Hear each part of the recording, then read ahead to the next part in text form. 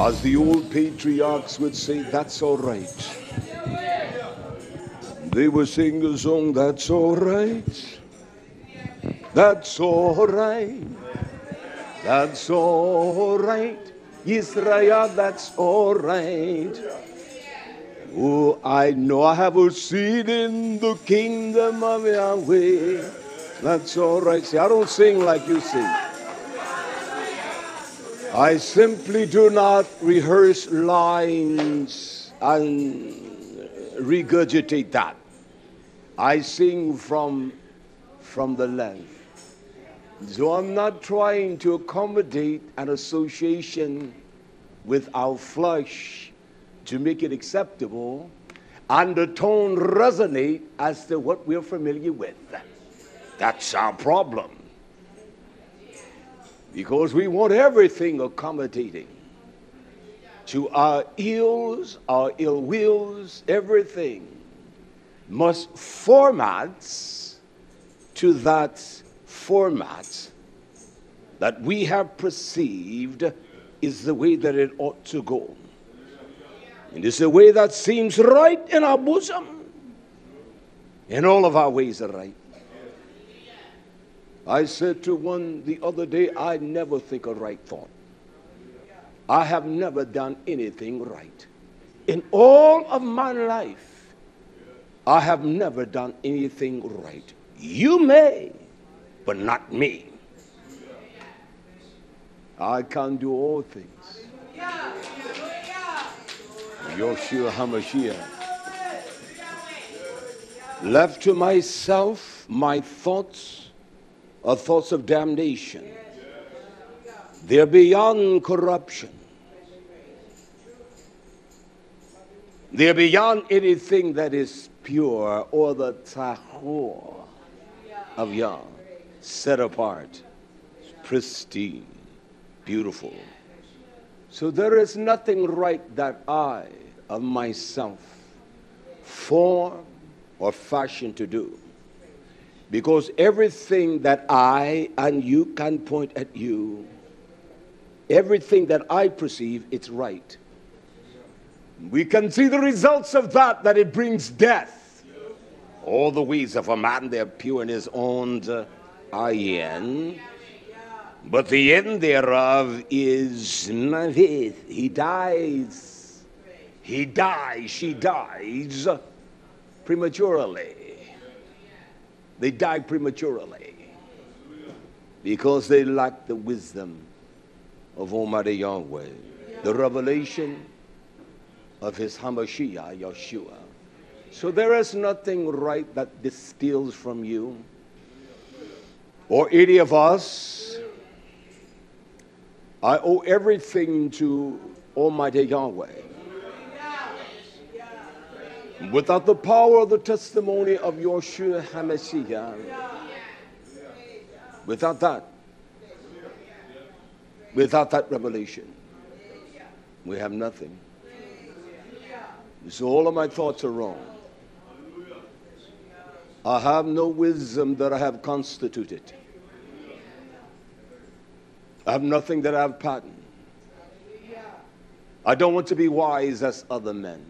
I want to be able to labor in the derech, the pathway, the halach, the way that he directs me to proceed. And I want to do it with the adamant resistance of hell and to be faithful. I said, I believe to my issue, I said, I was in the garden the other day and I said, Yeah, what a labor. So intense I have labored this year. Very intensifying labor that the sweat pours profusively. When I leave the garden, I'm wet from here to the bottom of my feet. I don't despise it. And yet, there are those impediments, especially the ring, has caused such grievous, uh, unproductive uh, stalks and plants in the garden. And we have the persistence of the crows and raccoons, that their palate is not easily quenched, so they take advantage of the unguarded produce that has ripened in their eyes. And I said to my Abba, Look at this. Well, the wisdom of my heart began to speak to me. No, look at you. As I allow those evil thoughts of concision separating me from the path of Sadiq and the righteousness of Yah, that He has labored upon me and in me before I was ever shaped in my image. And yet my fruit are sparse. I'm not a very fruitful man. Don't write me hypocrite.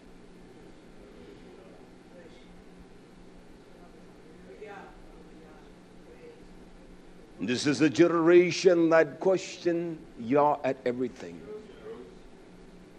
Just like they question Moshe, when he speaks by his wisdom, the volume that flows from my mind, I appreciate that.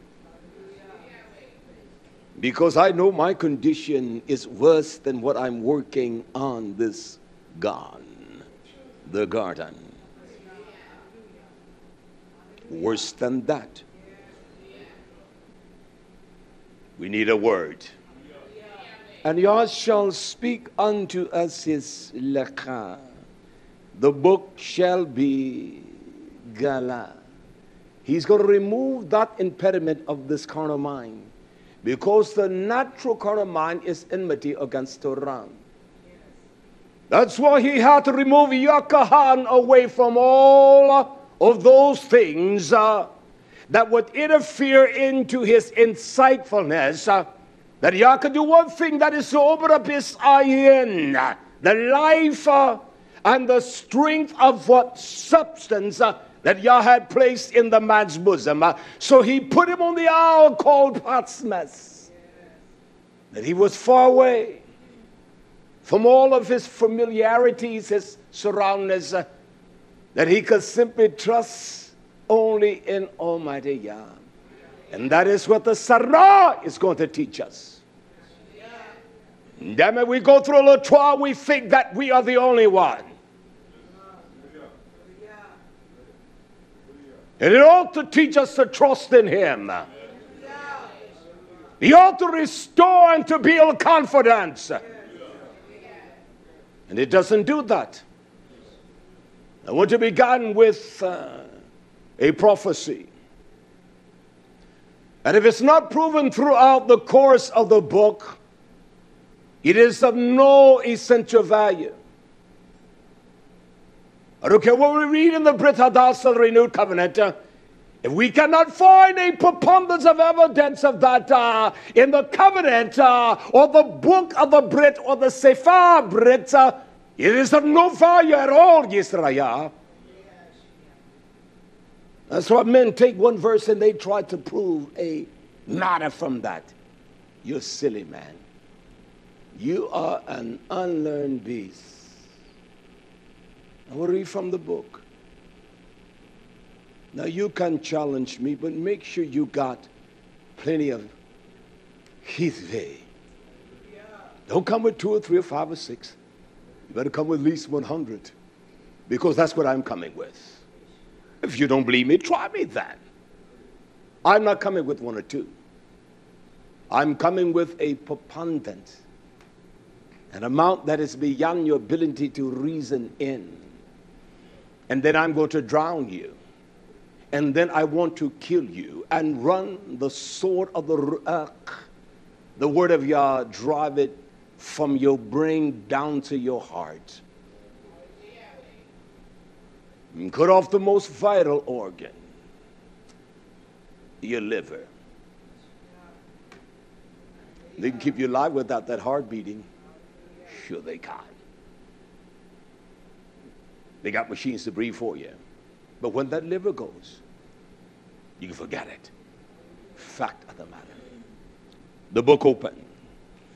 Yah grant unto me the diligence of this teaching, that it may be insightful to your nation. I want to begin in the book of Gilead, Revelation, chapter 5, and one verse I want to read. This profound prophecy that the Melech, and a Melech is a messenger that guards. Uh, the very essence and the profoundness uh, of Torah. So Yah doesn't dispense His Torah or cause it to be revealed, but only by those that He has uh, entrusted with that revelation. So there was one that stood before Yehohanan, and he had these seals. There were seven seals uh, that the Torah would call Khatam, that the wisdom and the revelation of that was sealed up for the time. And the revelation of Torah or for to be open uh, in this time, uh, we must have a student, students, uh, men of Yah, that this Torah has spoken precisely unto them, that they can reveal all things. That is vitally important.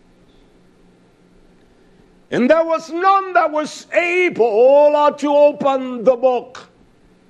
And we all think we're able to open, or the gala of Torah, that we can distill doctrine or lacha to give insight when we don't know a damn thing. We have no wisdom of Torah. You don't have fear. Because the fear, as Shirok says, uh, the fear of Yah caused you to love Yisrael. There's one thing about the essence of love. The old ones will say, You can sense that. You can feel pure love. I despise what is purported as love today. This damn phoniness. It's not love. That's why I tell you, don't love me. And don't tell me you love me. Don't write me tell me you love me. Very seldom, sometimes I would say, Man, I love you. I don't say that to many men or anyone. And he will say at times, Re'ab. His words to me are always the same keep preaching. And he backs that up with a substantial offering every week, every month. I do apologize, every month. It's more than most folks get for Social Security. They're combined checks. That's what he sends every month. That's what the man sends. And he has been doing this for many, many, many years. Not one or two, three, four, five, six, seven years. He's been doing it for many, many years. He doesn't talk much to me, but he's my friend. Can't wait to see you, my friend. You know that. And so there was not one that was able to open the book. So if I take this book and say to you, began teaching from here, I don't need to copy scripture. I can open the book any place and teach. Any place in the book. And no one was able to open the book. It says in verse 2, Revelation 5 verse 2. He says, And I saw, my eyes were open. I saw, he did not say a weak, but he says a koach, a strong melach. He had the spiritual physicality, the strength. I saw a strong melach proclaim, he kara. His voice emanated in the heavens. His voice sound the alarm beyond uh, the ears to perceive. I saw a strong, a mighty, a powerful melach. He proclaimed with a loud voice, with the substance, uh, that he is Melach Yah. He is the messenger of Yah. He is the voice of Yah. He is the beauty of Yah. I saw him proclaim with a loud voice, uh, Who is? He used the word who is uh, idea, who is worthy, who is majestic enough who is powerful enough, who is a dear, who is worthy. Is every man worthy? He said, Who is worthy? Who is great? The Torah says, as I read last week, uh, that Ezra was a great smart because he labored continuously uh, in the Torah of Yah. And you think you're great? You don't even labor in the Torah of Yah. You think that you're worthy, that you are at dear, that you have this majestic aura about you. You have a great persona. Your visibility or the perception of you, even in the eyes of man, they see something or a man that is not of the norm or the normal protocol. But yet, these are the great markings we place upon ourselves.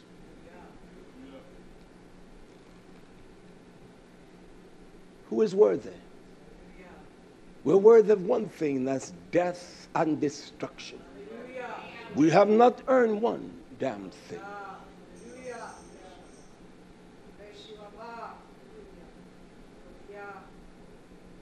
There's nothing that we have done that is great.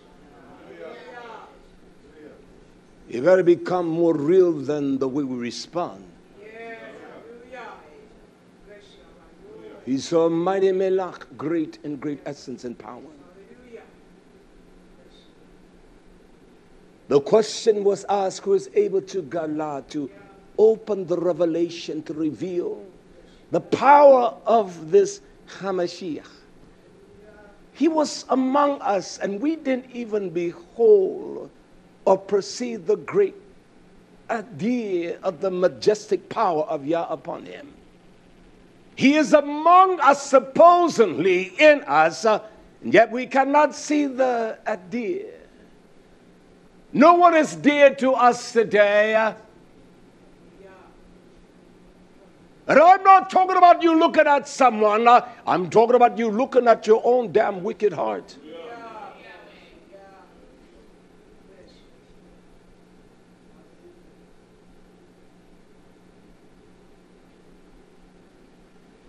There was no one worthy.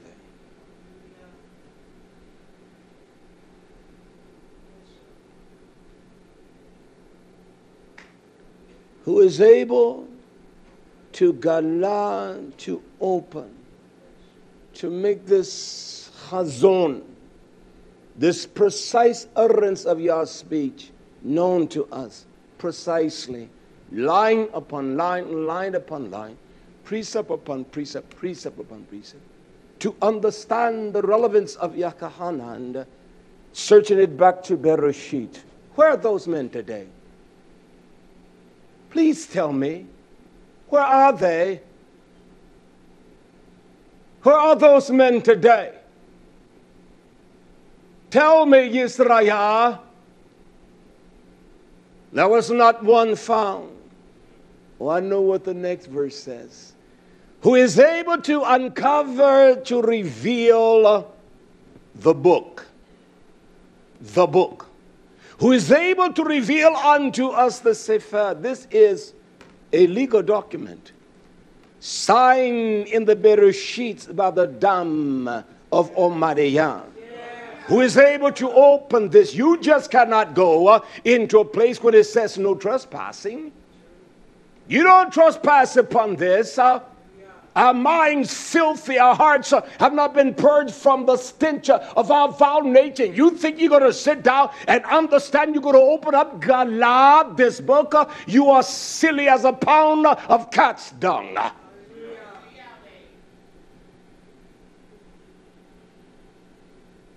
Who is able to open this great book And not only to open this book, but then the seals must be broken.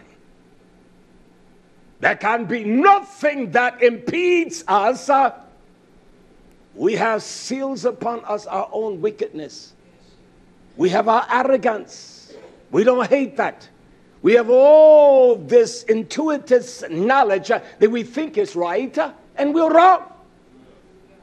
We don't hate the evil. We don't hate our evil ways. Uh, we don't hate our arrogance, our pride. Uh, we don't hate it who is able to loose the seals, to bring forth the knowledge of this Torah, and to give us revelation of what is to be. You're not going to get it from this excerpt only from Yachanan. You must go back to the Bereshit of all things, the Berith, the beginning. And we're going to open the book from the beginning, all right? We're going to open up what is the purpose of Gilead and the reason. What did the Navi and the prophets, and the mighty messengers say of even this time of Sarah, of great trials, of great calamities and pain? And we are having pains even today that have been induced by our own wickedness of our sins. And our disregard to what Yah says. To understand what book that even Yachanan was writing from the precepts, the concepts, and the perspective of the book, then we must venture to the book of Daniel. The book of Daniel, chapter 12, and one verse I want to read. And then I want to drop down to verse 4, Daniel, Daniel, chapter 12, verse 1. He speaks of a time. Now there must be witness of this time that he speaks of. And then the true messengers of Yah that we know of uh, in the Brit Hadashah, they must speak uh, in the same terminology that Daniel speaks in here. Daniel, Daniel, chapter 12, verse 1. Uh, he says, There shall be a yom or a time when there shall be one by the name of Mikael, Mikael, and it represents who is like Mikael or Micaiah. Micaiah is one that represents the totalness of Yah. Who is like Yah? That's what the name Micaiah means. Who is like Yah?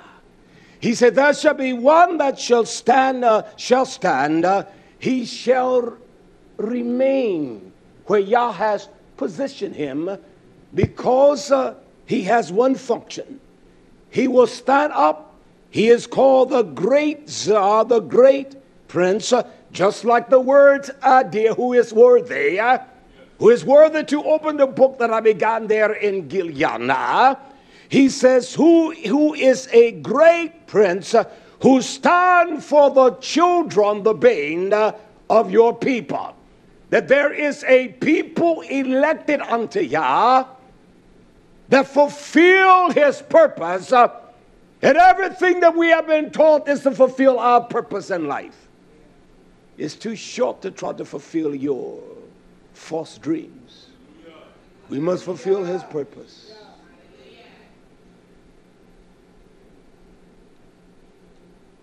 He says, and there shall be a time of great Sarah.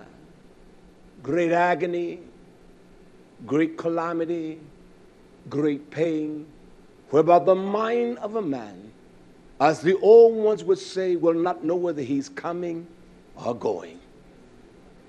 He will not be able to differentiate between what is evil and what is tough. And we find that today, don't we? Faggots are exalted pedophiles and corrupt men uh, position themselves in some of the most prominent positions in life. Whorish and wicked men and women uh, usurp the predominance of power over nations and the nation.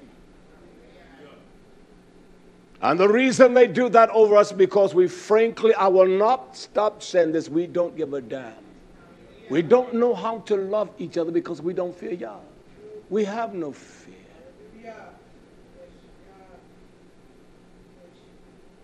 There shall be a time of sorrow, of great distress and, and great bondage, such as never was since there was a nation.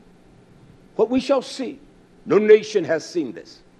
He says, even to that same time, and then he says this to us, and at that time your people, uh, they shall be delivered. Everyone who is found written in the book. Everyone who is found written in the book. Now, if we think that Yakahanan uh, had 30 or 40 or 200 scriptures to, to convey this revelation of this profound truth. Uh, only Yeshua can reveal uh, unto nations whose names are in the book and who is written in the prominent place of the bosom of Almighty Yah. We must understand the totality of this book. We cannot uh, dissect it. We must understand it through its course, uh, through the pattern uh, that is already established.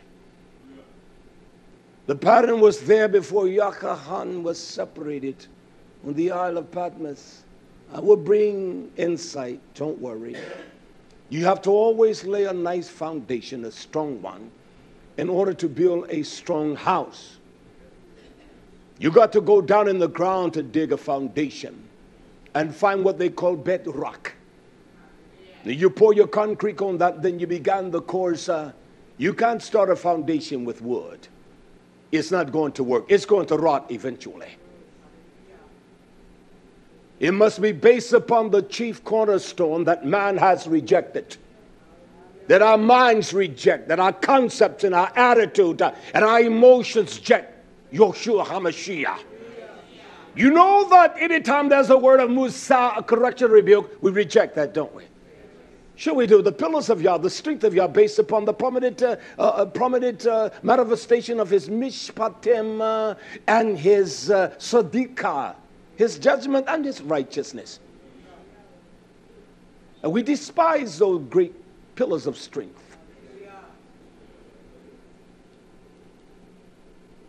who shall be found written in the book? Quickly, verse 4. This is what the Melach, the strong Melach says unto Daniel.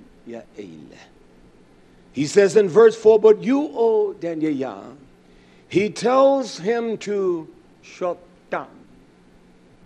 He said, Shut. Shut.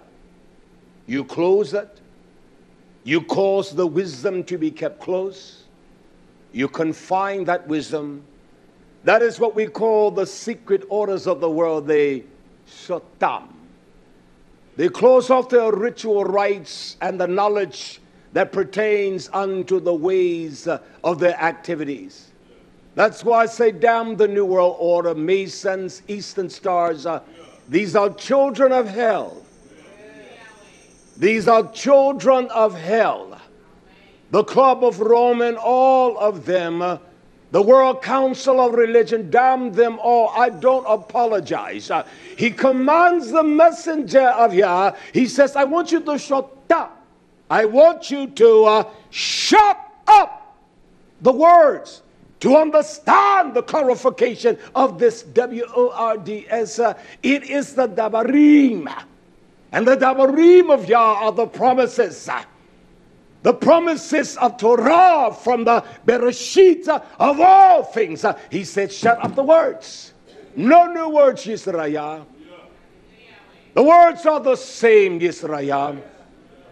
He said, I want you to shut them. I want you to shut up the words. Uh, I want you to shut up the words. Uh, up the words. Uh, he says that I want you to them. I want you to seal them. These are the seals that only the revelation of Yeshua HaMashiach can break. Did he not talk about talk about in verse 1 those that are written in the book of life? Was there not an, a deer or a majestic milak that come, came to Yakahanan? And is not this one that stands for Yisraya, is he not Michaya? Is he not a strong melech, an Achmelech? Does he not stand for Yisraya? Does he not, Omad, endure, keep his position and his place? Is not that the one? And so the revelation of this, it is, uh, it is concise and precise as to what Yakahan said. And as the forerunner of Yakahanan, one called Daniel, the messenger, the prophet, the mighty one of Almighty Yah, he said, I want you to seal up the book. Why? For the time of the gates, the end, the acharith. And one, as the strong Melech proclaimed, who is able to open the seal. And there was no man. The revelation truth of Yah is not brought about by the instinct of a man. It is revealed by the Ruach and the power of his truth. And Yah's not going to entrust any man that doesn't labor in this Torah. A man has more time for every kind of little damn trinket, uh, but he has no time for Yah? And you think Almighty Yahweh is going to reveal unto him uh, the magnificent power of his Torah? You think if you work on a job, they're going to promote you when they know you're lazy? When they know you're shiftless? They know the one that's working hard. Uh, they see the one that is laboring. Uh, they see the one that is sincere. You think he's going to promote you? Not so, my friend. I'm going to tie it all together. Don't worry. He said, even the time of the end, he tells us that many shall run to and fro. They're going, everyone. I need to go down to Brazil and teach the people what a lion. I'm going to Africa and find the remnant. What a swine. I'm going to Europe for missionary work. What? A dog. So knowledge shall run to and fro. They shall run to and fro, and also the knowledge shall increase. Shaul writes about that. He talks about how knowledge shall be increased, the da'at, but they will never be able to come to the da'at, the understanding, the skillfulness of Torah never able coming to the knowledge of truth. We're not a nation of people that's able to come to the knowledge of truth. That's why we need the mind of Yeshua HaMashiach. And that mind must be accomplished in us, developed in us. It must be asa. It causes us to do the great pleasures of Almighty Yah. Our minds don't give a damn about the Most High. Our minds are on our own pleasures uh, and our own desires. That's all we give a damn about. And we frankly don't give a damn about that. Seal it up. There shall one that shall arise. And the ruach of that one, if Yeshua is in us, if greater is the power of this witness uh, of Torah in us, uh, we love to quote that, don't we? Then where's the revelation of the Hazon, of the precise teaching of the prophecy of Torah? Where is it? I find something so distasteful among this generation. Two things. We don't ever want to say we're wrong, and we think we know everything.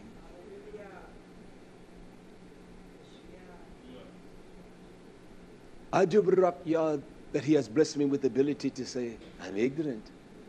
I don't know.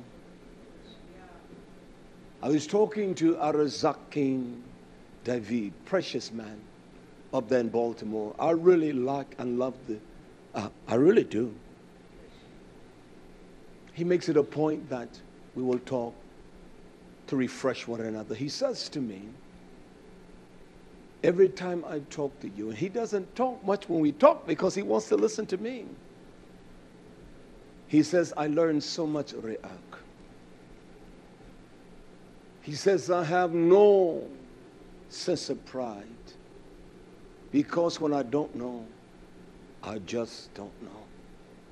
And I'm appreciative for the great insight that Yah grants unto you. Well, that doesn't swell my hand. I replied to him, I said, My Zakin, I worked in one of the largest corporations in the world. And it was one thing that I was never ashamed to say I'm ignorant. Oh, no, not you. You don't be silly, man. I'm not offended because I'm ignorant. You can teach me. But a man is so wise he can't be taught, he's a fool. So I would tell them I am an ignorant man. And because I was ignorant, and because I was honest, then the delicacy of the teaching was so helpful and insightful to me. Because I didn't pride myself as though that I know. Because I did not know. When I talk to Zakim McDonald out there, I never talk. I let him talk. Because the man is very insightful. And he pull out Torah, he tells you, now if you see the pattern here in Yakahan 5.3, yeah, he says, I want you, when you go home, search, and he doesn't have a book before him. This is how this man talks. He doesn't stutter with his language. Uh, his language is precise. Uh, It is an orderly language. It is talk is that way. Yet the man says, I love you, Riak. And I love his speech. I love his wisdom. I love his insightfulness and the knowledge of Torah. You don't find men like him. I said, Oh man, send me some tapes. We put on the station. Well, he's a type, he loves to just open up his heart because he's been around for a long time. In the 60s, y'all began to deal with the man. You understand? So he is not some fly by nighter. Believe me. So if you sit, if he comes, you elderly ones, don't try to show him what you know. Just being honest now. Just listen. And then you may learn. If you're going to listen to some young nutheads that come through here, you better listen to him. That is right. Hallelujah. So this book that Yakahan he is expressing this chazon, this great revelation that shall be revealed, and only one can reveal it. If one does an autobiography, it means that that one is the author, right? If one has a biography written for them or she, that means that someone else wrote it. But if you do an autobiography, you are the author of that essence. Well, who's the author of this book? Well, here's a statement that one makes. The one that is able to open the seal, it is somewhat arrogant. Can I read it for us? But unless there's a witness of this profoundness in the Bereshit, it's not worth its weight in paper to be written on. In the book of Ibram, in the book of Hebrews, in the book of Hebrews, chapter 10, verse 7, one verse, it says Hebrews 10:7. Now Hebrews 10:7. Uh, then uh, Asa declared, uh, I spoke with volume. Hebrews 10:7. Then said I, with an arrogance. He says, I come, I enter in, I bore, I come uh, in the Mechillah, in the volume of the book. And he had a book in his hand that no man. He said, I come in the Mechillah, the scroll, the writing, the volume, the substance. Now that's a statement. That is the profound utterance. He uh, spoke that. He said, I come in the volume of the book. It is written of me. Uh, to do your great pleasure, to do your hafiz, what please you, O Yah. Now the book, he come in the volume of the book, and the book is written of him, that it sounds like an autobiography to me. It sounds like an autobiography. That the Kadosh men, they moved by the Ruach HaKodash, and they wrote by the pensmanship of the author of the book. So he declares that he comes in the volume, he comes in the Mechillah. in the scroll, the substance of the scroll, it is Him, it is written of Him. And the only way that the revelation of that can be opened, gala, made known, revealed, to understand, to give us insight in the author that define what it is, He must give us revelation of that. That's why we have taken lightly the word of Yah. We don't ponder it and we don't love it. We're going to die in our damn wickedness. He says, written in me. Well, my friend Barnabas Shaul, whoever wrote this, unless a testimony, a witness, it must be established in the mouth of at least two. With just that alone, it's not worth its weight in a copper penny. We must always.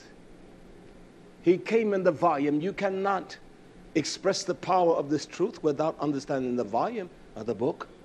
Well, let me see if I can find a prophecy of this exact wording. It says in the book of Tehillim, Psalms, now, this is one or this prophecy, Psalms chapter 10, that express this powerful work of redemption. If you read that in Giliana, it is expressed who is able, when the seals are opened, to redeem this nation. How are they going to be redeemed? What shall be the resolve of that nation? To Tehillim, Psalms, chapter 40, Let's see if this is the witness of the statement here in Ibram, Hebrews. Tehillim 40, verse 7. Then said I, then said I, Lo, I come, Psalms 40, verse 7. He says, I come in the Megillah, I come in the volume of the book because it is written of me. Not that book that's, that the Melach says that no man was worthy. There was no one that was able to open. Believe me, in my bath, every man is not able uh, and worthy to open the book. Yet there arose one from the tribe of Yehuda, the loin, the tribe of the Eri, the lion the tribe of great strength, the one that will eviscerate every kind of obstacle against Almighty Yah. Strong men of great strength, physicality, maturity, they have been nurtured in the mind of Yeshua HaMashiach. We got to cast down these vile imaginations uh, and every thought that exalts itself uh, against the power of his Sadiq.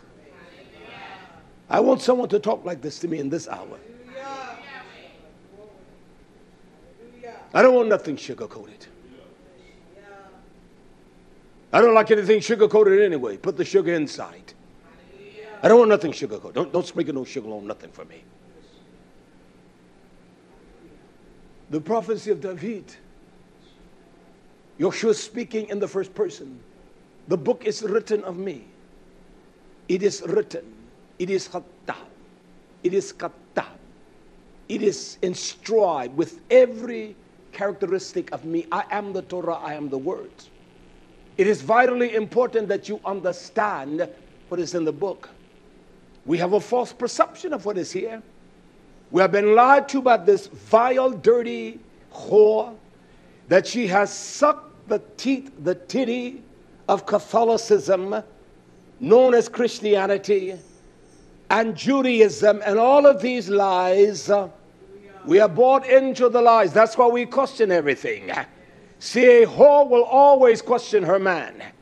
A dirty whore will always question her man. Even though a man is not doing anything, she has no solid proof uh, as the man that, that is not faithful, but she's going to question that. Uh, she's going to accuse him of every damn thing uh, that her wicked mind thinks. And that's how we accuse Yah Yisrael. And so every messenger, we got to question him. We don't question the sanity and the purity of our own identity and how faithful we are, but we want to question someone else. But he did me wrong. I quit crying like a little effeminate boy. Stand up, be counted for. Yah says to Yahushua, get up off your belly. Quit crying for that damn house. He says, stand up and be a man. You need to stand up, man. Man has that physicality. Ain't nothing like a beautiful man. He doesn't have to have the Samsonite. I don't see what the Torah says that Samson had muscles like that. I, I just, I don't see that. You understand? He had the strength, just like the mighty Melech. He had the strength of the wisdom of Torah. Hallelujah. You see, this Herculine images that created God a lie. His strength was in the covenant.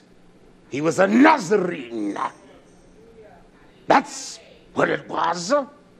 And so they show this individual that represents Hercules, this god, when they make their damn lying movies. Talk to me.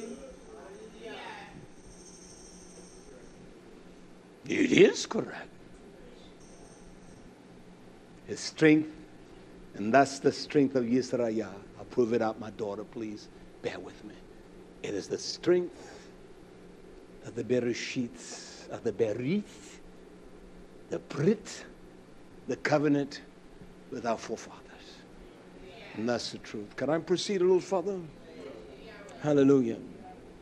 He comes in the volume of the book. So you think the book began with Yokohanan? Well, I'll show you where the book begins.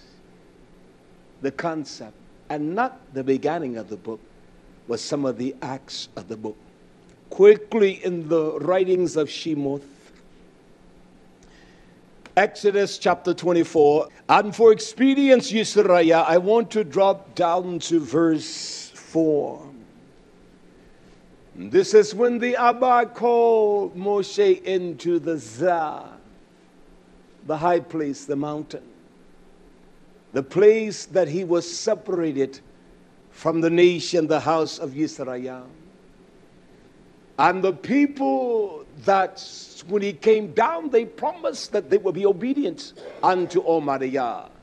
I hear that, and I've heard it countless of times. You show someone the error ways and the ways of the era, and they will say, Well, I'm going to obey. And they condescend back to the same actions and activities.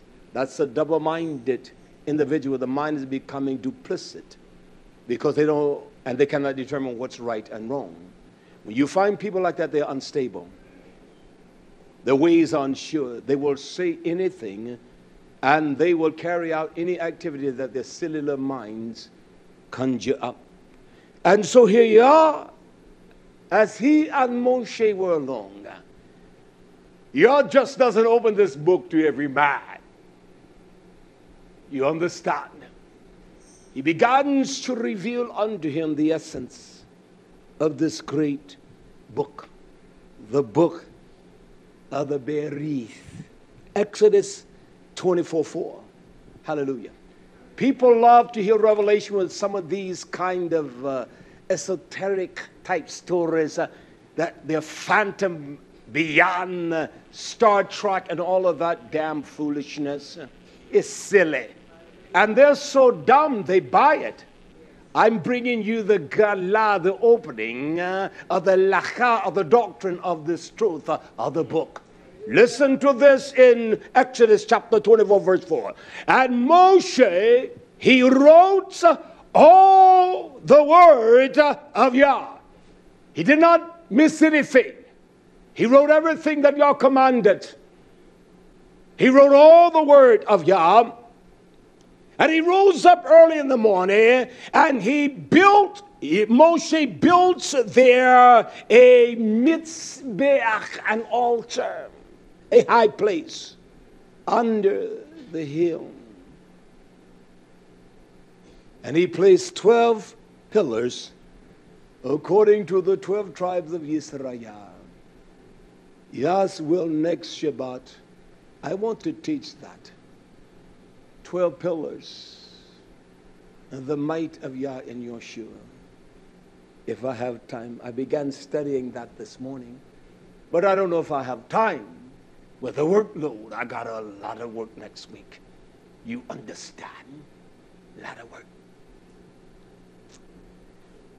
And when Moshe had done that, he sent Naha young men of the children of Israel which offer burnt offerings, uh, and the Zadok, they offer up that which was uh, commanded unto them uh, to offer up. Uh, the shalom offerings of the oxen to Omariah. That's why in the bed of Shlomo, there were engravings of oxen and eri of the shore because it represented the strength, the magnitude, not only of the 12 tribes, 12 lions uh, in that house, uh, and two lions that led up the stair because uh, it represented not only the dividing of the house, but the power of Arabah in his revelation that shall be revealed in Joshua HaMashiach. So he had to come as the lion, the eri of the tribe tribe of Yehuda. He sent a young man to offer up oxen. Verse 6. And what Moshe did, he took half the blood and he put it in a basin. And half of the blood he zarak. Not what the Methodists do with the sprinkling of water. He zarak abundantly. He sprinkled or he dashed and he covered. He sprinkled the blood uh, on the misbeach, the high place uh, of great strength. Yeshua is our elevation or our place uh, of great strength. He is the revelation. In verse 7 here, this is the catalyst here. And he took, and he took, and he took the book. The same book that Yakahanan talked about. There's one book I want Yah to reveal and to open up. I'll read that as I conclude, all right? And he took the book of the Berith, the covenant, the alliance, the treaty, the heart of Yah, he took this book and he read it in the ordinance of the people. Why would Joshua even open the book? Who is able to break the seals uh, and to cause that which is written to speak? He caused Moshe to speak. And in this time, uh, Joshua is going to speak. Yah, the voice of Yah. That's why Arazakin has warned us. When Yah speak, the mountains, the, they tremble, and the great cedars of Lebanon, they bow down. The mighty men, the strong men. Uh, he caused his voice to resonate by the voice of Moshe. And in this day, Yah is going to speak. His living Torah is going to speak. And that same living Torah is of the covenant of his people, Israel. It says, and he read it in the audience of, a, of the people and they said, as we would say, all that Yah has said, uh, all that He has commanded us, we will, uh, as uh, we will do.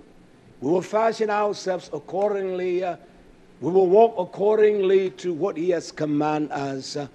And then they said, we will be shemach, we will be obedient. We will do it with great delight. Are we a nation of people that's obeying what is written in the book of the covenant? We're not obeying what is written in the book of the covenant. We're obeying what is written uh, in the corruption of our own hearts. That's why men can speak today without substance of the book. The book must be open, Yisrael. When that book was opened unto the house of Israel, they feared. And unless the book is open in this hour, we're not going to have any fear. They feared and they said, All that He commands us to do, all that He instructs us to do, we will do. We will, uh, we will fashion ourselves. We will fashion our lives, our children, everything. And we will shema, we will hear, we will train ourselves to hear and to obey. And so the book is not being opened today. The power of Yeshua HaMashiach has been displaced with the damn lie of Jesus. We want to hold on to the damn relics of Jesus. It is the damn lie, Israel. Damn every Jesus, every Christ, and every vile God.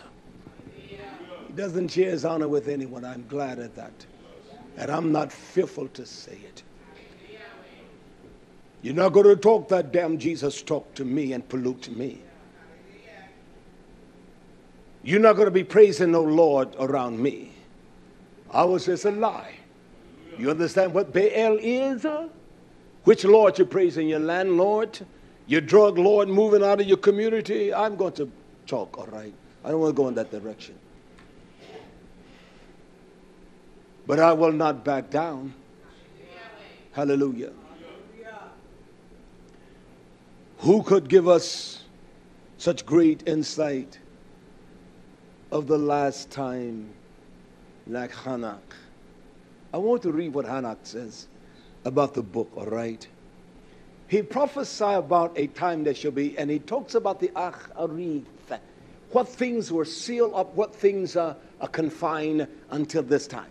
You hear people say, well, you know, the world is, is changing everywhere. And you know, it's the end time. You liar. One said that to me, other said, you don't believe that. I said, uh, I got too much to do. I got to go to the garden tomorrow. I got to do this. I got to do that. Uh, just to show him how foolish he was. Because the man did not believe it. Everyone says that, so you know there is no, there is no evidence to it. Because when the wickedest of men can say it, uh, and the most stupidest of men said, you know they don't know a damn thing.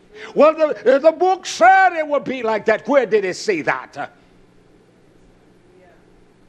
Yeshua says even to the scribes and the Pharisees, uh, you can discern the face of the sky. You can tell when it's going to rain, uh, when it's going to snow. You damn dumb jackasses. Uh, you can't even discern the time of the coming uh, of Yeshua HaMashiach.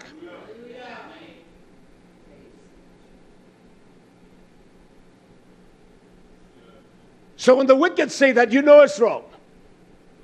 When the wicked, when they rely upon that as a strength of their knowledge of Torah, you think about that? So I said to the individual, I got too much work to do. I got to get the garden next week. I got to weed. I got to pick. Man, I got, I got to build a building. I got to do that. You know what he did after I said all that? Who knows what he did? Can I tell you? He laughed. Oh, we laugh, we mock, yeah. He laughed at me. It was worth laughing at because he was silly. He didn't know what he was saying. And that's a fact. This what we see because it's raining here. When Yah alters the heavens, the world is going to tremble. It's going to be earthquakes in diverse places. The earth is going to tremble when he talks. This, this isn't nothing here. Rain, stop that. I said to, to the individual, I'm going to enjoy these cool nights here in July. We used to 100 degrees at this time of the year. Hot, dry. It's cool like this. I says, no end of the earth. Not now. So this great messenger, I want to move in this with some speed, all right? as I would say, expeditiously to excavate every stone and to turn over every stone, especially the stone that, uh, that is at the Shahada gate of your wicked mind and your heart.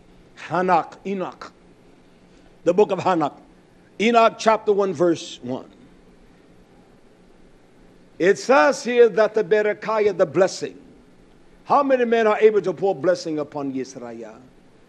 We think because we challenge one another and we think we can talk, when a man receives the berekah or the blessing, uh, it brings life to a man. When a man just talk and his talk is non-essential, it is of no value. I don't want to hear that. When a wise man talks, then the ears of the simple are, are drawn attentively unto a wise man's conversation. And so the blessing of Hanak with which he blessed the elect. That's all he blessed. Now, I want to show you one of the most profound blessing uh, of this, this blessing of Hanak out of the book. That's why Yisrael, you but we better get some fear of Yah. Which he blessed the elect and the Sadiq who would be present now, not those with him, uh, but they would be present on the day uh, of the Sarah of the great tribulation or the day of tribulation at the time of the removal of all the wicked ones, those that are practicing Risha or the Rasha. The one that are criminals against Yah. They're already down, Yisrael. They're already condemned. Nothing is going to save them, whether you buy it or not whereby Yah shall assault the wicked one. So Yeshua opens the book for us that we may fear and understand it is a terrible thing to fall into Yah's great and mighty hands. It is not something you take lightly. That's why you don't practice sin. You don't see the ills of your own wickedness, whereby you can confess your sin. I hate a Jezebel and a lying uh, dog of hell uh, that think that they have risen above everyone uh, and everyone is against them and they're doing right. You're not doing one damn thing right, woman. Uh, man, shut your wicked mouth. And I'm being persecuted. You're not suffering for righteous sake. You're not suffering because you love Yah. You're suffering because you're wicked. My suffering doesn't come because I'm Sadiq, because I'm a damn wicked man. More damn lust draws me away. You damn hypocrites to say, oh, the brothers treat me wrong. You hypocrite. You don't even know how to treat a brother. Oh, the sisters, they don't like me because I'm spiritual. You're not spiritual woman. Hell, you have no, you have no intuition of what is spiritual. Because if you were, you would be quiet and you would teach young women how to love their husbands, uh, show them how to keep their damn house clean. Uh, how can you show them that when your damn house is filthy? You will go to hell as far as I'm concerned. Teach them how to love their husband, how to train their children. You are running your damn mouth and think you're some spiritual. You're a damn Jezebel. That's what you are. I don't give a damn who you are, woman. Why did I say that? Sometimes I go off. He blessed us. Hanak. He blessed the elect the Bohia, with a great blessing, those that will be present. Shaul says, Not all shall sleep. We're all not going to sleep. And some shall be here. Oh, I know we'll say, Oh, I want to be here. You don't even want to be here with them to the small, minute things. You hypocrite. I want his will to be done. Whatever pleases you, John. Hallelujah. You'll find out how strong you really are, won't you? Verse 2 of Hanak 1, he says, And Hanak, it called him a blessed and a righteous man of Yah. He took up the parable or the mashal, the speech of great wisdom. Hanak went to of great wisdom uh, and he did this while uh, his eyes were gala. They were open, his ayin, uh, the power, the ability to reveal unto thee like uh, the preciseness uh, of what shall be. You understand? His eyes, his ayin were opened, uh, and he saw. And he said, This is a Kodash vision. This is a Hazon. This is a prophecy. This is precise. And every word is precise. And every word that I speak is wise. He gives us the vision.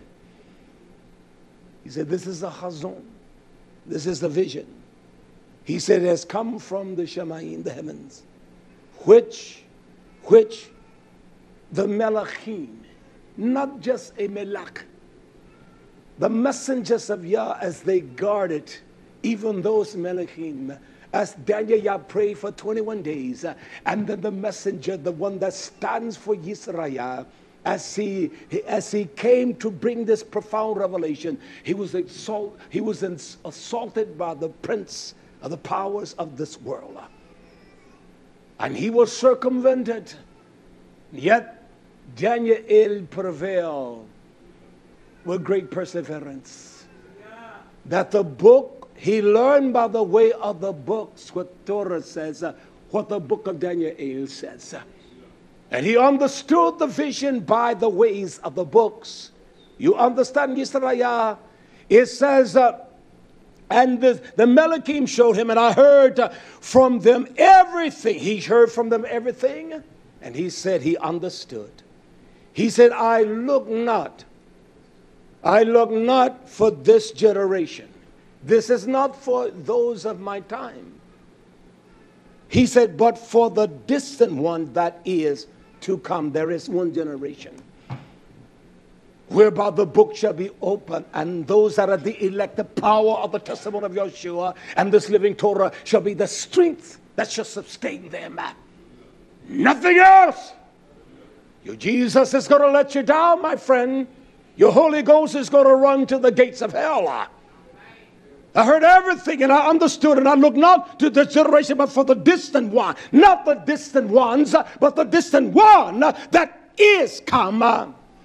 I speak, I prophesy, I, I saw about the elect ones concerning them. The book was open for the elect ones and concerning them. So, what are you telling us, Hanak? Did Yakahan speak what you spoke when he saw the book open? Well, we shall proceed. He says, And I took up, verse 3, I took up with a parable, saying, This is what my wisdom of the Mashal, of the Mishli spoke unto me. He says, Almighty Yahweh, Yah. He says, You are the one of the universe. He calls him the Kodash and great one.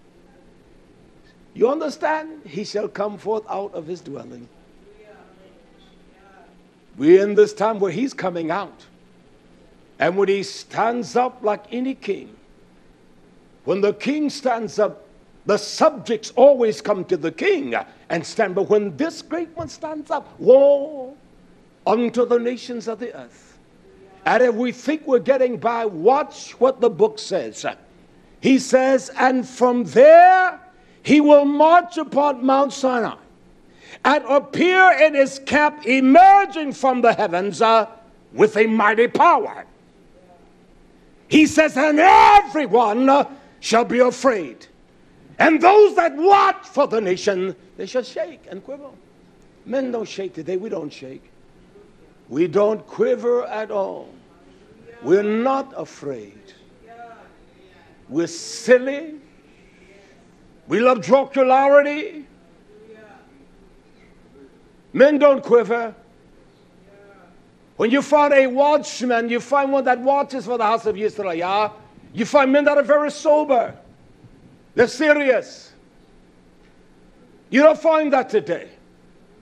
He looked to find one man that cried out against uh, wickedness and found no man. Nanobi escaped. When he looked and saw what they were doing in the house of Yah, every kind of damnable, deplorable thing, uh, that's what's happening among his nation. He said, Everyone shall be afraid, and the watchman shall quiver. A great yare and trembling shall seize them. When, when fear sees you, there's nothing you can do. It shall seize them unto the ends of the gates of the earth. He talks about those in great authority and the great power, mountains. The similitude of those that uh, of great substance, mountains uh, and high places will fall down uh, and they shall be frightened. Those are stones and mountains. He's talking about those uh, of the hubris state of mind uh, and arrogance. They're going to fall down and be frightened. And the high hills, uh, those that have built the strength of their gods uh, and they've exalted their gods like the Jew God, uh, the Greek God, the Christian God, the Catholic God, the black God, the damn wicked white God, the damn wicked Mexican God, the damn wicked Jewish God. They've built their gods. Uh, they have elevated their offerings unto their gods. Upon the high places. The mind they shall be but made low, and they shall melt like honeycomb before the flame, before the ush of Yah. It's amazing that he identifies uh, his power of his word and his flame almost is A-Y-S-H, but I-S-H. Ish is enunciating the same. Ish, He's talking about a man. Man has fire in him. A boy doesn't have fire. Man has the of life in him. Everyone is not a man. Because they have the similitude, that doesn't make them a man. That's a fact. Hallelujah. He says, and the earth, the Olam, shall rent asunder. And all that is upon the earth, he says, they shall perish. They shall turn from Yah. They won't know which way to go. And he says this I want you to hear this. And there shall be a judgment upon all. You'll see that? Upon all, including. Including. Including. Including. Including. Including. Including the Sadiq, those that have been justified in all. If we've been the Sadiq, shall scarcely make it. Where shall the wicked, we that are criminals, we know we're doing something and we know it's absolutely wrong. We know we're infringing upon Torah and we deal with such callousness of heart and we think that there is no retribution to us. He said, All shall be judged. And he wanted to make it precise. That's why the book was open to bring about warning that we may fear Yah, that we may understand the reprieve we have uh, through this revelation of Yahshua HaMashiach. He said, All shall be judged. And I want you to understand, including, including the Sadiq, those that believe that they are righteous. If the righteous shall scarcely. We in all our damn hypocrisy, we think we're doing right. You're not, we're not even scarcely doing right. What shall the end? And what shall be of the wicked, those that obey not the Torah of Yah? We're not doing an excellent job in obeying the Torah. A man like Haraki bless the nation of Israel, and every wise man should bless the nation. His speech. He doesn't waste words. I tell people, you don't have to tell me the same thing over and over. I hear what people say. I know I explain things over and over because most of the times people don't hear. They don't have the ability to comprehend. You tell them one thing uh, and they perceive it. If you don't understand, ask. Well, I thought, well, if you thought that's what I said, you didn't hear me. If you thought that's what I said, you did not hear me. It's amazing. You can remember everything I say, but you never remember what you say. Did I say that? You silly jackass, you know you said it. Can't go around.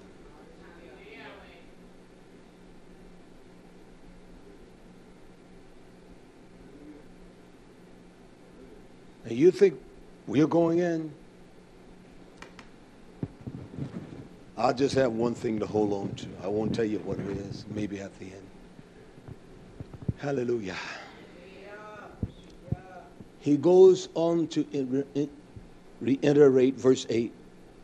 He says, And to all the Sadiq, all those that are truly Sadiq, all those that are Tomim, he will grant unto them shalom. Isn't that what it says? Yeah. Well, how do you know that those that are Sadiq? The Torah, Yah says he will grant unto them shalom. David said, You mark a perfect man. You mark a man that is Tomim, man that is complete, his wisdom and Torah is sufficient. He says, For the end of that man, in the midst of all of his great agony, for the end of that man is shalom. So we have no perfect man. We don't trust in anyone. We are a debilitated people, Yisrael. And the reason our young men that are strong do, do not have the, uh, the kazaz and the strength uh, of maturity because we, as the elderly ones, uh, we've been as silly as hell. We have not been honest with ourselves. We have not done righteously.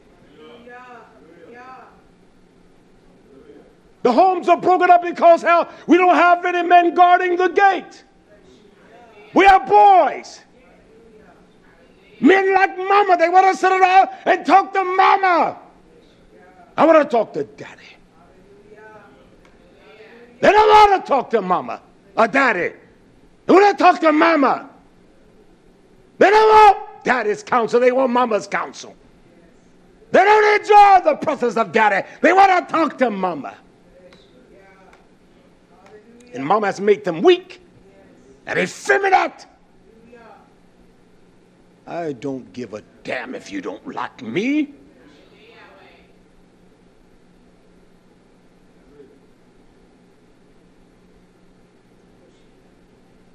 Ah, I ain't taking nothing back, old man. Ah, I was going to not. I'm going to not take nothing back. That's fact. So the mother has taught them her effeminate ways. She has rebelled against the strong one. We have rebelled against Yah. She has taught the boys to act like her. They want to walk like mama. So when daddy comes home, he, they don't see the strength of his resolve. He is the man. You understand? We are his bride.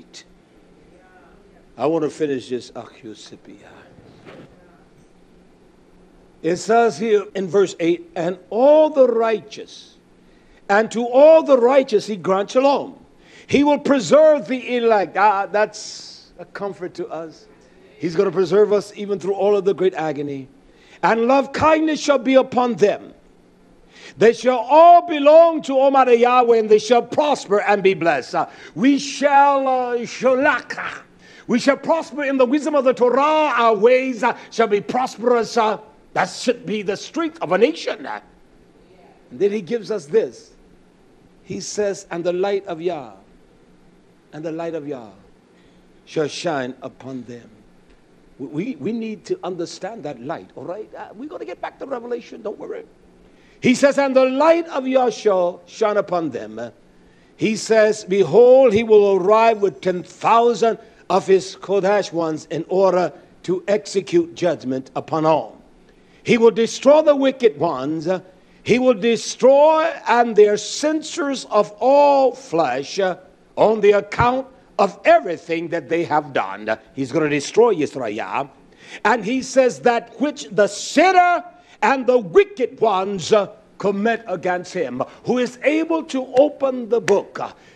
Hanak says, and the light of Yah shall shine. And the light of Yah shall shine unto us, who is able, who is Adir. And there one stood up. And the majestic power of Yah. Who is this one? And he was able to open and to break the seals. That which Daniel Yah, even from that day, was sealed up until the time of the end of the gates. This light, I want to draw attention unto that because it's vitally important to understand. The light of Yah shall shine. Look at this disclosures Yahshua spoke unto the most prominent minds of his era in the book of John, Yakahanan, chapter 8, verse 12. John 8, 12. Then Yahshua spoke again to them, saying, I am the light of the Olam. Hanak says, And the light of Yah shall shine unto? The elect? The elect? Yeshua declares that I am the light of the world, and he that follows me shall not walk in darkness, but shall have the light of light. That individual shall have the light of life, shall have the ma'or, the rejoicing of the power of life, uh, the high, the light, the strength of life. Uh, he shall raise, he shall be raised up uh, with this vibrant essence uh, of this living life. What is the living life? Is he not the Word? Was he the Word made flesh? Is that not the revelation of all things? Is everything that God reveal or uncover, is it not revealed by his Word? Sure it is, Yisrael. Sure is. And to understand the dynamics of what Yeshua says, uh, here Shlomo speaks with a greater edification uh, that identifies with the witness of Yeshua in Proverbs, Mishli, chapter 6, verse 23. Proverbs 6.23. He said, For the mitzvah, the commandments, uh, is a near, is a lamp, and the Torah is light. And the Torah is light. And the Torah is light. Yeshua said, I am the light. I am the or. I'm the ma'or. I'm the rejoicing. And the Torah is light. And the reproof of the instructions of Torah, it brings us into the derek or the way of high, of life.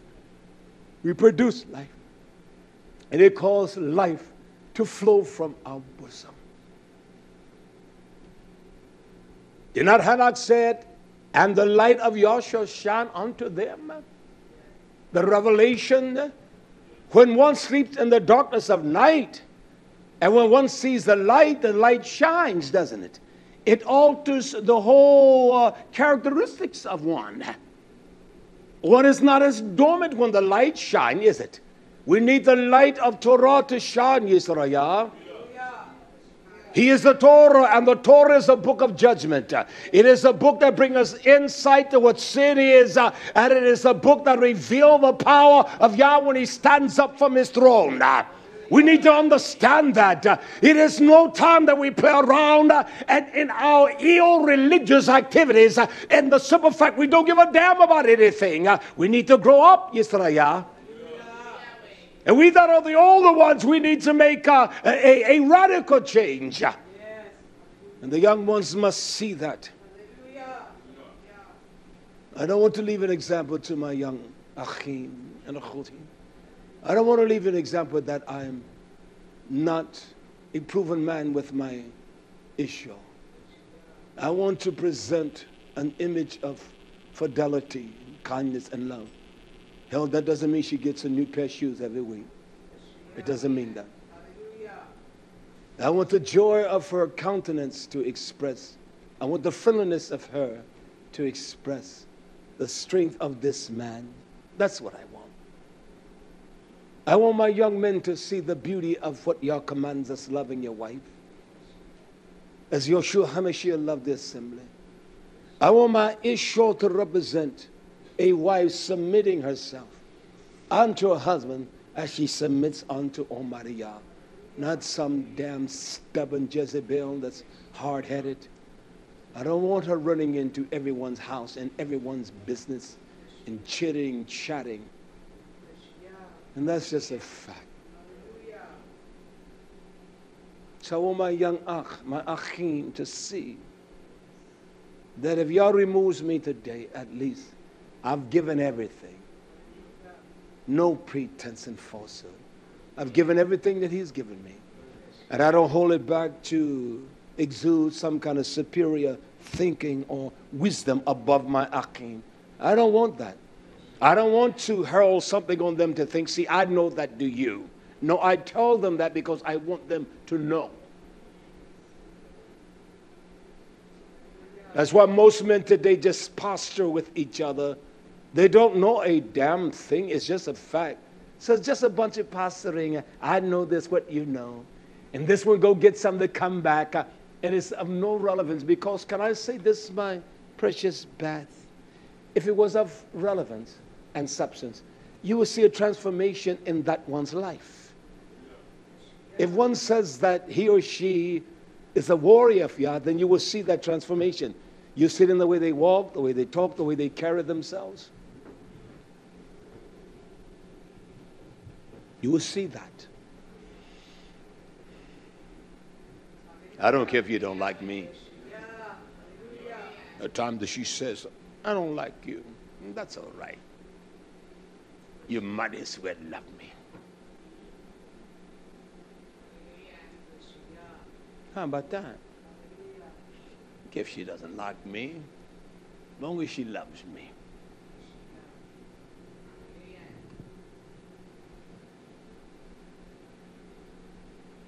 Look at how quiet we get. Can I proceed, my Ach Yosipia Toda, my friend? The profound wisdom of Shlomo in the book of Wisdom, Wisdom 710. He talks about wisdom. He says, I love her. He says, I love wisdom above health and beauty. Wisdom 710. He says, and I choose to have her instead of light. Now, not the light of Torah, my own ways, what makes me rejoice. This is Wisdom 710. Why? Because he says in the next sentence, there's a semicolon there, he says, For the radiant light that comes from her never goes out. See, the wisdom of this revelation, of this uncovering by Yeshua, if he uncovers the wisdom of Torah unto us, uh, the radiance of that wisdom never goes out. How can you say you have? That's what it says in the book of wisdom, doesn't it? And if he was talking about the light of Yeshua, the witness of Yeshua, then he would not have a semicolon there. And to show you the running of that sentence, uh, to say, and uh, he says, for the radiance of light, of the wisdom, of the power of Yeshua, of the revelation of Yeshua that comes from wisdom. Uh, that is where it comes from. Uh, the light of Torah comes uh, from wisdom. Uh, he said the light never goes out. So if a man's face is lit by the testimony of the Torah, you see a beauty to a man. You see a beauty. And so when he walks by the bath and the marketplace, uh, she the strength. Uh, although he doesn't speak, uh, although he doesn't interact with her, he, she the strength uh, just by the ma'ah of his face. Uh. who wants to see a damn hideous, broke down face uh, and everything is broke down all the time? I don't want to see that. Even if you're going through, then let the light of Yah shine. Even if you are having pain, let that light. Even if everybody has walked away from you, get up and dance a little bit uh, and sing to Yah. Oh, I sing to Yah. Oh, I sing to Yah. You'll find yourself. We don't do the simple things when He commands us. Just simply what rejoice. Well, I'll rejoice. He said it again, rejoice. Ah! That's all right. Oh, I rejoice in Yeshua. That's all right. Oh, I rejoice in your Shua. Hallelujah. Hallelujah. Hallelujah. We get it right. Oh, I rejoice in your Shua day and night. Oh, not this false pretense of great gladness. Some of us look crazy. Our face look crazy and nutty. He said, I love wisdom because her light never goes out. But a man has a profound wisdom. You will see his ponim. It has a beautiful expression. He doesn't look crazy looking.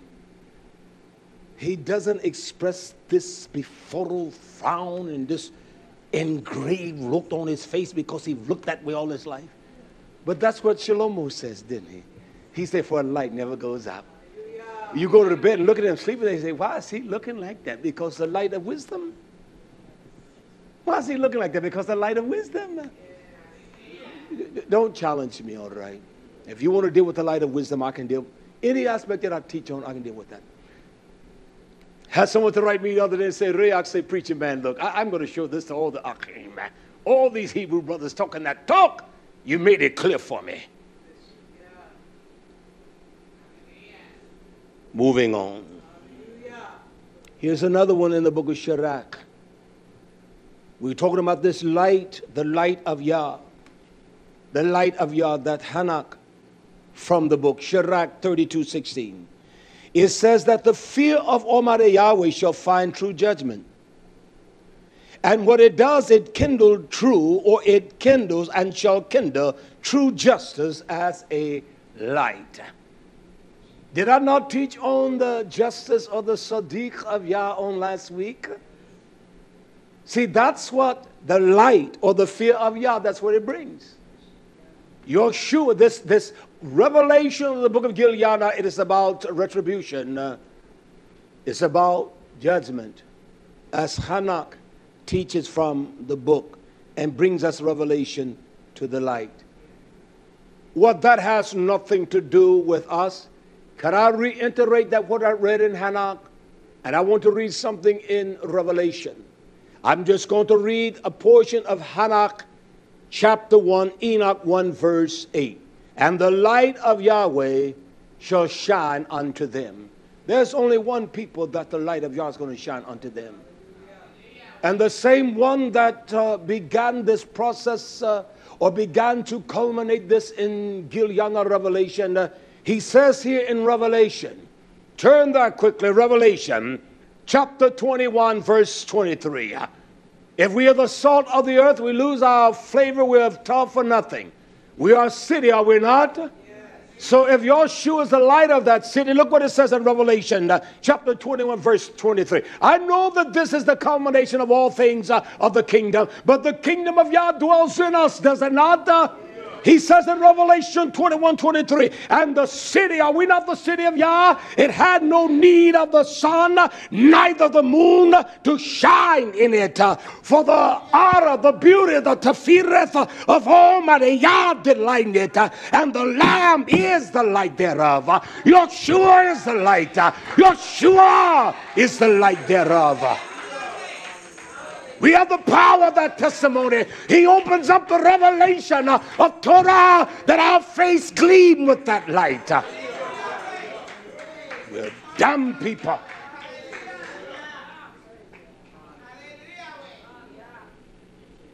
If we are city, Zakim Benjamin quotes that all the time. We're city. Nothing else. He quotes that. He says the same thing. Don't forget, he taught the message the same thing. Play that one today, Ark Simeon, after service. The same thing. Riak said I said the same thing, so uh, I'm going to get up and say the same thing. Yah tells us the same thing. And hell, we are hard headed as they come. Because this light, as Hanak said, did he not say this is not for this generation, but the generation that is to come? Did he not say that, Yisrael? The book must be open. The book must be open, Yisrael. We must open the book. It must be Galah. It must be open. It must be revealed, the revelation of it. And you stubborn old men, you need to get off of your wickedness and begin to uh, intercede and cry unto Yah that you may get the sense of wisdom and understanding. And you will know when you got wisdom because the light will shine. You don't have to talk no damn wisdom talk. Everyone will know you got wisdom. You will know who got wisdom. You will see the light.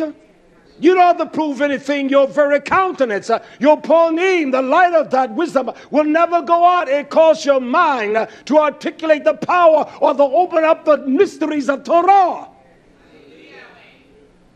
And silly old men today are full of folly and full of silliness. And hell, they want to complain about no women and they want to complain about the woman. You need to get yourself right, man. No, I'm not like some of these folks blame everything on the woman. I can't blame everything that I do on my woman. My wife has been right by me. I, I would be a lie if I say she hasn't. She's done right. She stood by me. Hallelujah. That's a fact. she has not made me do things that are against the ordinance of, of our marriage. She has not challenged me to that degree. Maybe some just leave it home and no. Never. Because when I say be quiet, woman, that's it. You know the first thing I taught her before I married her? She was a pretty thing. She's a beautiful thing now. now I'm, not, I'm just saying this. She had this, my natural brother, she would kind of josh. She was only 20 some years old. She was a silly girl. And still silly, just like I am, immature. And I didn't even know, as Zachim Mahalia would say, Jesus or God. Didn't know nothing. But I knew one thing you're not going to act that way with me, woman. Because even then I was straight. I was ignorant, but I was straight. And I said, I want to tell you something, woman. I want to tell you again. Don't you ever do that with me. I was 155 pounds. I didn't have the strength of the mass I have today. Little old thing. She was a 125 pound little old thing. I said, Don't you ever do that. And I mean that. And anytime I'm talking with any man, you shut your damn mouth, woman.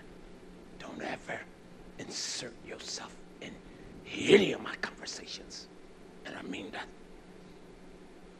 You see me talking with a man, you go find something else to do. She knew better.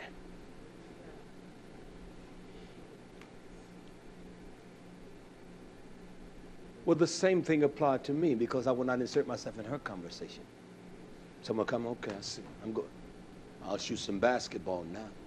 I don't have time for this. That's right, hallelujah. You don't have to like me. Devil doesn't like me. Can I tell you, I don't even like me at times. I get the fussing and talking and fussing. I fuss at me more than I fuss at anyone. I fuss at me all the time. She asked me, what, what, what are you saying? Uh, don't worry about it. I, I know who I'm talking to. If I told you what I'm saying to him, you may not even like it.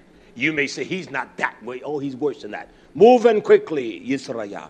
Let me move quickly. Again, I want to read that. Hanok says, The light of Yahshua shot unto them. Revelation 21 23. And the city had no need of light. Are we the city? Are we a city that sit upon a hill? Whereby the light cannot be hid. See, all of this uh, is precise, coincides with everything I read. Uh, even it says uh, that when a righteous man, uh, when the radiance of wisdom, the light that comes from uh, wisdom never goes out. And so the wisdom and the understanding of the uncovering of Torah, it shines greatly. And we are sitting whereby the light emanates from us. Yeshua is the power of that witness of the light in us, Yisrael. We need that testimony. It just can't be some words. Uh, oh, I think I testify. No, no, it must be a life. Uh, it, may, it, must be a construct and an order that we live and we walk in. Uh, we obey, we do, we delight in it. One thing I bless y'all for, I've never been righteous enough to say that when I was wrong, I try to justify my wrong. I'm wrong. I mess up on that one. Oh man, we lost it. Oh man, that's the result. I thought that would work. I've never been, I've never had that kind of pride to say I'm wrong. I'm wrong. And I'm wrong 100% of the times. I'm never right in my application of anything unless the adjudication of Torah is what my actions or deeds come for. I'm wrong every time because it makes me feel as though I did right by them. So then look at me. No. It's like a filthy needle or rag from a woman that stink and she let the rag sit in the sun uh, and pissed on it and everything. All right, I go that way. But you understand the filth and the stench. There's nothing about me that's right, neither you. That's what David said, create in me, Yah. And tahor, clean heart. And see, he must renew that. That is not just once on the occasion, that's every second, every day. It doesn't take much for your heart to get filthy, for wicked, evil thought to displace the witness of Yeshua. And people think that they're really right when they're so corrupt and wrong. They really do. Hallelujah. The book of Nahum. I want to finish this, please. Ooh. If I don't finish it, we'll come back one day. The book of Nahum. I want to read this in the book of Nahum, this vision. Nahum chapter 1. The book of Nahum in the Old Covenant. The book of Nahum. The book of Nahum. All right? Nahum chapter 1, verse 1. This gives us a precise wisdom of what the whole book of Revelation or Gileadna is all about. It does. This writing by this Nobi that many will call a minor prophet, but he is major because the words he spoke are major to the revelation of what Yakahanan saw. It shows us the great righteousness, the just justification of the great exalted power of our Abba, the Most High, Yah, Almighty Yahweh. Nahum 1 and 1 says, the burden. Nahum. Nahum. Where is that book found? It's in the Old Testament, in the Old Covenant. Nahum, the book of Nahum. Not Enoch, but Nahum. Nahum. Nahum, chapter 1, verse 1. It says, The burden on the Massah, the great load, the burden of Nineveh. It tells us here, it talks about the book. Does it say the book? The book of the vision? Is not Revelation the book or a book of visions? Were not the visions open up? Is not Revelation a book of visions? Hazon, preciseness. He says the book of Hazon, the revelation that comes only by the inspiration of Yeshua. Well, how was that so in the day of Nahum? There was no living power or in the person Yeshua, neither he today. But it is the living Torah, the living word. He is the word of Yah. It says the book of the vision the book of the Hazon uh, of Nahum, the Erchoshchaitz, uh, Yah is Chano, he is one that is very angry, and Yah reserve his Naham, and Yah revenges. You think that Yah's revengeful? It says that Yah revenges. In Naham, he gets his vengeance. He's going to repay Yisrael. He says this, Yah's Naham, his revengeance, he says that it is furious. It's like a fire. Yah will take vengeance on his adversary, his Sarah, his enemy, those that oppose him. He reserved wrath for his enemies. Who is able to open the book to show us the enemies of Yah? Who is able to open the book of the vision uh, that you may search your heart to see whether you're an enemy of Yah? He tells us Yah is slow to anger and he is great in power and he will not at all, not one iota, he will not acquit. I'm a nice person, you are not nice. You're a corrupt liar, you're sneaky, you're wicked man. You're a sneaking, lying woman. You're just a vile liar. Let's get real. That's our nature. There's not one tov. That's why Yeshua, when they said to him, There's no one that is tov for Yah. And so if we are, let's use the expression, quote, good, uh, unquote, uh, if we're good, then we are in the image and the mindset of Yeshua HaMashiach. Well, hell, we missed the mark by a long shot. So don't give me that bull. You do good to everyone. You don't even do right by Yah. You don't even obey these commandments to love Him and, uh, and do what He commands. All right? So don't tell me how, quote, good, unquote, you are. We're not. That's none that's tov. Not one of us. You think your gifts are special? You have no special gift. Hallelujah. Who is the baddest ball player on the planet, they say? Basketball. Abner, can you answer that? A, LeBron. B, Kobe. C. Shaquille O'Neal. Talk so I can hear you, boy. You know who it is. Who is it? Cleveland, show the boy. Who is it? These boys, as much as they play basketball, they know that everyone says that LeBron James is the baddest boy on the planet. He's the baddest one in, this, in our stratosphere. You understand? Nobody. He's bad to the bone. Nobody touches him. It's just a fact. He's the baddest ball player there is. He commands presence. His physicality is like nobody else. At his height, his weight, his speed, his size, it is unmatched by men that age and that size. Aerobatic. Come on, I'm drawing the parallel. Who is like unto Yah? That's none. That's none. And so we know we're going to stand before this great king. He's going to judge the wicked and the righteous too. We better get it together according to Torah. We better get this light of Torah in our hearts and quit pretending. And quit pretending that we're right and we're so, so right. We're not right. We've all sinned and fallen short. We have fallen. We have failed the expectation of Almighty Yahweh and Yeshua. He will not at all acquit. You will not be free or say you're innocent, the wicked.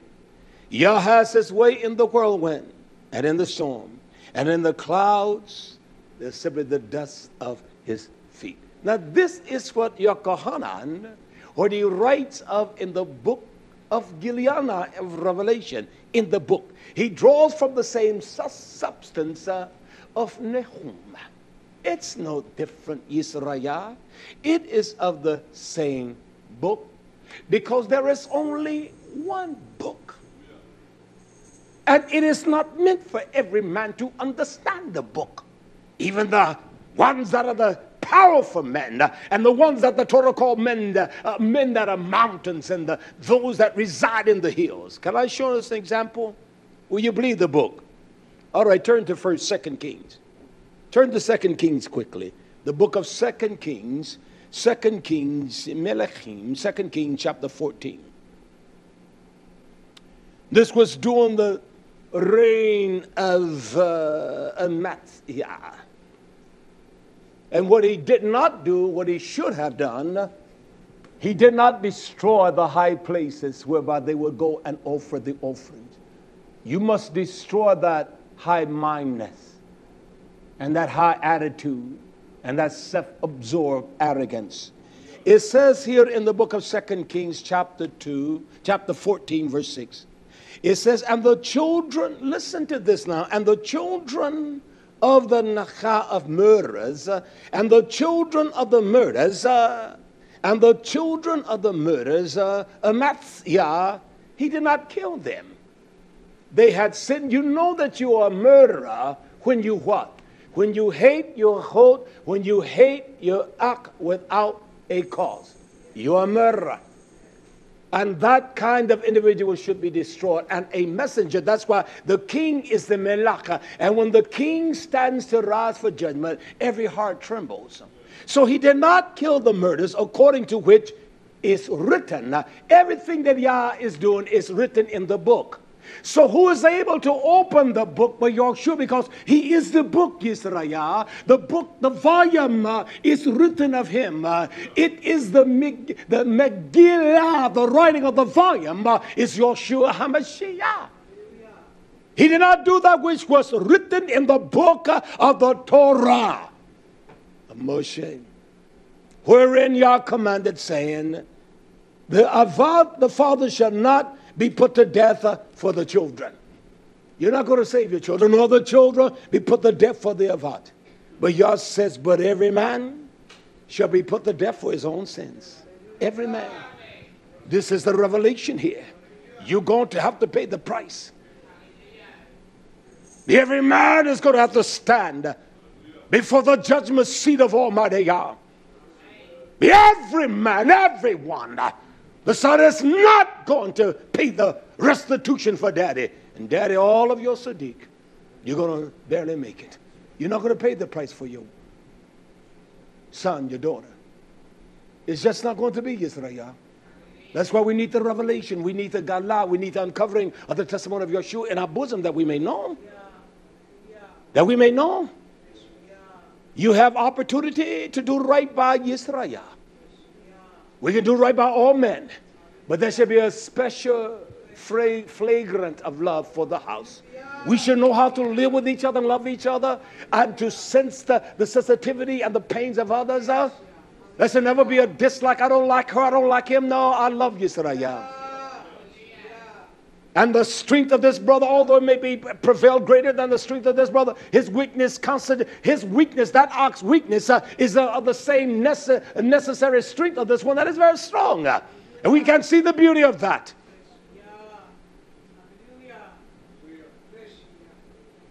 And it's wrong.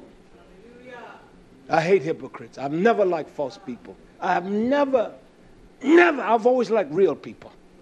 Because I've always been real. You both, no! I've always been real. Now, I'm not someone stupid that speaks my mind because my mind is stupid. There are things that I will not say to this one or that one, uh, but there are things that I'm forthright with to all Israel. And we must be that way. Is y'all forthright? He's forthright. He doesn't hold nothing back. See, I will hold things back. Y'all holds nothing back. Hallelujah. We should love our, our neighbor as we love ourselves. And don't tell me you love me when you don't even love you. Don't tell me you love your neighbor when we are self conceited and wicked. You don't have the testimony of Yeshua in you. I don't care what we say. I don't give a damn what we say.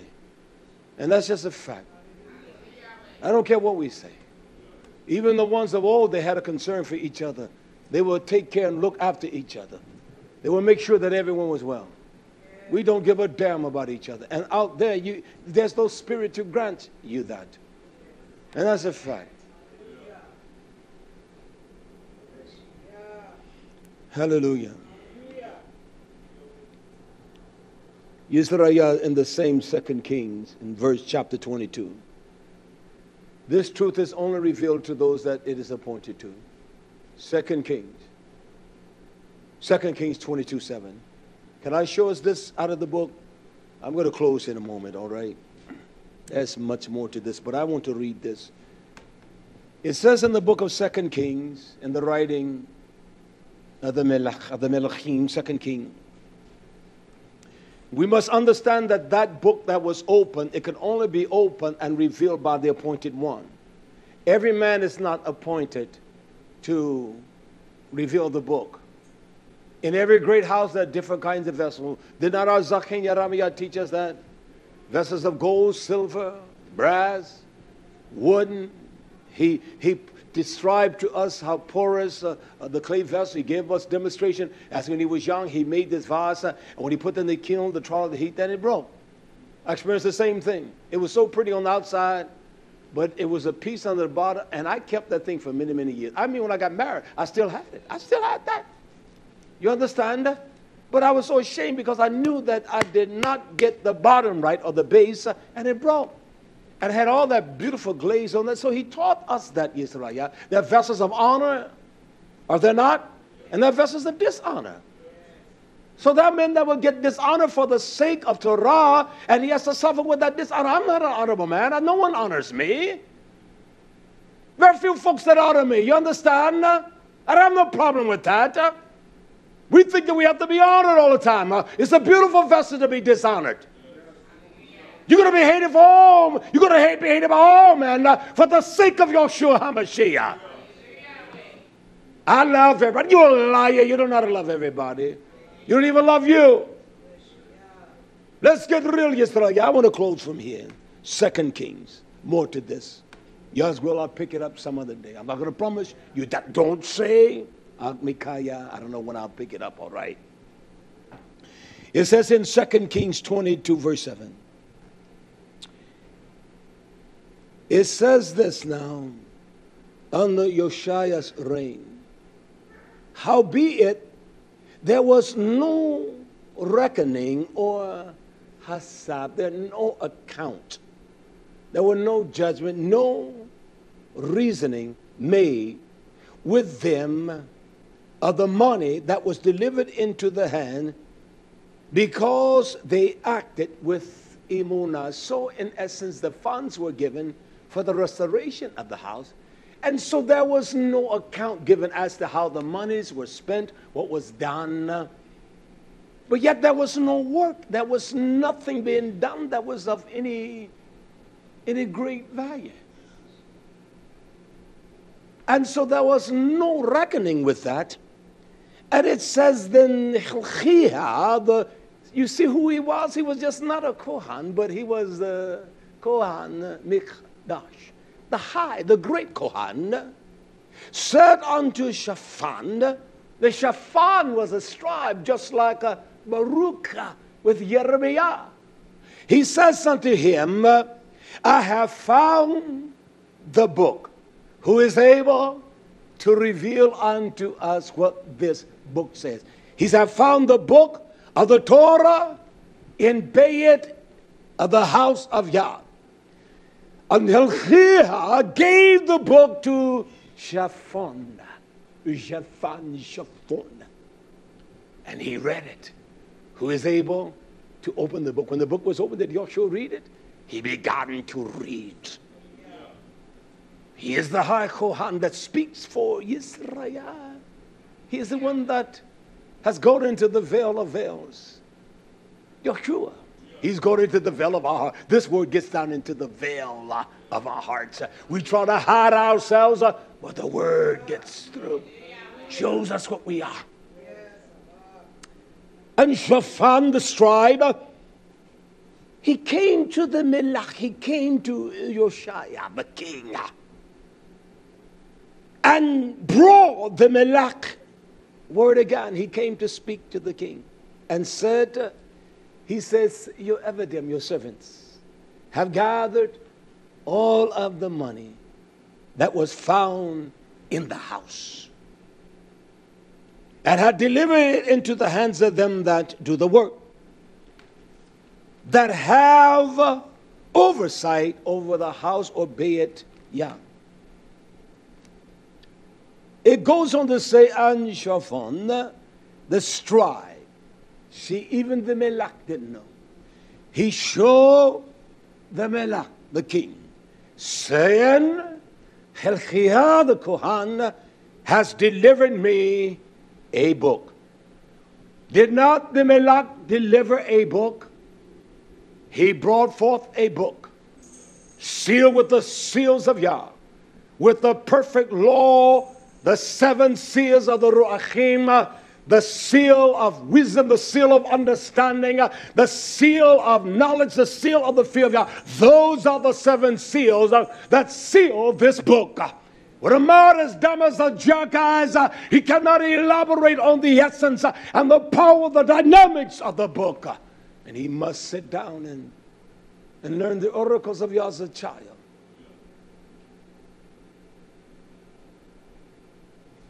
He has brought me a book and so Shaphan, he read it before the Melach, the king. And it came to pass. It came to pass. You see, Yeshua has revealed something great unto us. He was able to open the seal. See, it is not open unto us because when the Torah is open, the word is open. Let me read. Can I read? It says, and the Melach, and the Melach it says, uh, and it came to pass in verse 11, when the Malak had heard the words of the book, again the book of the Torah, that he chara, he rent his clothing. We are not tearing the clothing of this flesh uh, and this wicked flesh that drape us. We're not renting that. He tore his clothing. And believe me, he fell before Yah. He rent his clothing, and the Melach, he commanded Hilkiah, the Kohan, and also Acham, the son of Shaphan, and Achbor, the son of Micaiah, and also Shaphan the scribe, and Athaiah, a servant of the Melach, saying, Go run. And I want you to darash, I want you to inquire you must seek this with great prayer, with worship and one daraj. It is sought with prayer and great perseverance. He said, I want you to inquire of Yah for me. I can't get through. I don't understand the power of the book. Although he was the one that was exalted to the throne uh, uh, uh of David, he was Yoshai. He said, You inquire of Almighty Yah for me and for the people and for all Yahudah concerning the words of this book that is found. When we find the treasures of this book, we must have men, as they would say, prayer warriors and men that inquire and seek Yah for the knowledge of the record of this book which we found. This is it. He says, for great, for great. Is that what Giuliana about, he says, for great is the Chama, the wrath. Great is the wrath of Almighty Yahweh that is kindled against us. that is kindled against us. Because our, our fathers have not listened to the words of this book. So we haven't listened to the word of the book. To do according to all that is written concerning us. That's what the revelation of the book is. To reveal unto us what we must all do. This book is concerning Israel. The wicked is found among the house. The wicked that rejected Yah was found among Israel. I'm going to stop just like that. Hallelujah. It was found among his nation. And so this revelation only comes through Yeshua HaMashiach. We need to get real, Yisrael. We can continue to procrastinate and pretend that we love him. Woe unto us. May the riches of Yah rest upon you all. You that have joined us, greetings to you all. We do pray that the simplicity of this truth uh, warm your heart today. Whether you concur with it or not, it, it really makes no difference at all. I'm not going to allow this wicked generation to, to upset me and to uproot me from truth. I don't care what they say. And what I say is so simple that even the simplest of men and women can understand. They can. Because I deal with the very nature, I deal with the very nefesh, the very laba, and, and, and the very lavim, or the lev of man. I deal with the essence of, of what we are, who we are. See, the book is written. And it only can be revealed by the power of the testimony. So we need that testimony of Yeshua HaMashiach. We need that, and we need to get real. And the wisdom of Yah, the wisdom of Yah causes a man's face to shine. And the light never goes out. He doesn't look crazy looking. So glad to see you, my friend. He doesn't look dumb looking. And the beauty of his wisdom emanates in his face. And that's just the truth. Hallelujah. You go in a place, you can tell a rich man from a poor man because his skin looks different. May Yah strengthen us all. May cause His light, the light of Yeshua HaMashiach to rest upon us. This light never goes out. And when we truly become that city of Yah, we become the eminence of Yerushalayim, the light will always shine. The light of wisdom, the light of understanding, the light of the fear of Yah. We're not so easily dethroned. We're not so easily shaken. We're not so easily moved. Our strength is because Yah changed that we, the sons of Yaakov, we're not consumed. That's the only reason. He made a promise unto Abraham, Yitzchak, and Yaakov. He's going to save that remnant, that house. It is going to take a trial that is beyond our ability to perceive, to understand how we're going to overcome. And then when we overcome, we're going to sing the song. That's why we need to rejoice now. We need to learn how to rejoice in Yah. We need to learn how to come before His presence and delight and assembling ourselves to pray. We need to learn how to do that. We need to learn how to make a joyful noise and all of that unto Yah. We don't, we don't know how to do that. And we all the ones we're getting sick as hell. That's why he didn't take the old ones over. Because we're becoming so damn sick and silly and nutty. That's a fact. We don't want to labor for y'all. We older men, we just so immature, it's sad.